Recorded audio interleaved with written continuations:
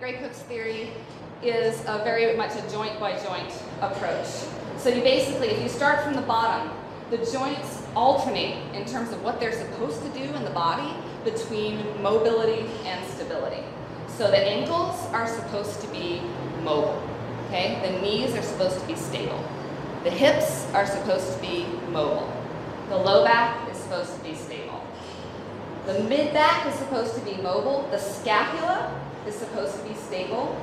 And the shoulders are supposed to be mobile, okay? So just joint by joint, it alternates in terms of what everything is supposed to do, right? And so what happens if my hips aren't mobile? Well, something has to move when I'm playing ultimate, right? Something has to move when I'm doing a squat. So if my hips aren't mobile, the things that are going to move are the joints above and below. So if my hips can't move, that means my low back has to move. And if my low back's not moving, that means my knees have to move. None of these things are ideal for what we want to do, okay? So it's very important to look at these things as a unit, as they're happening, okay? So, let's see. So here's an example. So um, in terms of, let's say you have an ankle problem, okay? So you're probably going to lose mobility in your ankle.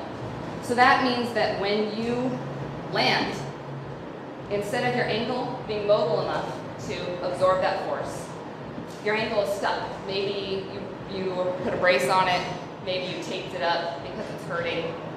You know, for whatever reason, whatever you did to, to compensate for your lack of ankle mobility, that means now the knee has to pick up the knee is not built to pick up the slack. So then you end up having someone with knee problems. So people will think, I have a knee problem. It's not really a knee problem. It's an ankle problem. And that's the, that's the basis, the underlying um, theory under which I'm working is that problems show up in the body and they're symptoms of the greater problem, which is poor movement. So we're still talking about mobility and stability here.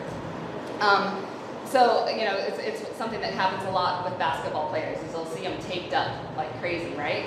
And basketball players have some of the highest incidence of uh, patellofemoral syndrome, you know, pain in the knee and under the knee. And it's because they're not able to move their ankles. They've got so much tape on them, right? And they're not doing the proper mobility exercises to get that motion back to fully rehab it. Then they have knee issues, okay? So another thing that um, we run into with movement is asymmetries, okay? Does everyone in this room know that ultimate is a very asymmetric sport? Yes. Please tell me that you all know that ultimate is a very asymmetric sport. Okay, so we're good. I, I'm of the opinion that it's actually one of the most asymmetric sports. Um, again, MC and I, this is going to come up a lot. We talk a lot about movement. Go figure. Um, we're riffing about this, and he, we were kind of trying to come up with examples of other sports that were more asymmetric than ultimate, and we weren't really having much luck. Like, he kind of came up with tennis, and I was like, well, no, but you do, you know, you're two-handed on the rocket a lot of times, and you're, you're, you're lunging this way, and you're running and lunging this way, like you're, you know, you are doing all this stuff, and, and, and it's not, it's not really exactly the same. I mean, ultimate, you put one foot in the ground, and you lunge and pivot around that foot, and you throw with one arm. I mean, what's more asymmetric than that? So the issue, where that shows up and where that really causes us problems, it's not necessarily that it's asymmetric here, but it's then, it's asymmetric there, we develop muscular things and joint issues to kind of compensate for that asymmetry, and then you try and run. Running should be very, very symmetrical, but it is not symmetrical if your body movement and your patterns are already asymmetrical. So you carry those asymmetries into your running, and that's where you get a lot of kind of chronic incidences of hamstring stuff, everything like that. So these asymmetries directly contribute to injuries on the field. Um, it also can cause core imbalance. You know, obviously if you're throwing and moving over only on one side, your core gets kind of out of whack, starts pulling on different parts of your body. Um, another theory that I work off of is that um, imbalances and issues manifest themselves kind of across the body. So there's this kind of zigzag that goes on. So not only are we kind of talking about joint stacking, but we're also saying, okay, if you have a problem with your right shoulder, if your right shoulder is immobile, it's going to show up with problems in your left core and your left hip. If you have problems in your left core and your left hip, it's probably going to manifest with issues in your right knee. And it might even go all the way down to left ankle. So um, I'll use MC as an example here. He separated his shoulder in college, type 3 separation.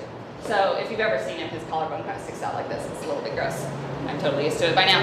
But um, so that's his throwing arm, right? So not only is it he, he's having to work extra hard on that arm, but he has an actual physical, you know, malfunction with the joint there. And so he correspondingly has a ton of issues with left core weakness and left hip imbalance, and he's had a lot of outer right knee, IT band issues and pain. So you can kind of map this and track this. So again, the problem you might feel is in your right knee, but the problem might actually be that your left hip and your left glute isn't firing properly.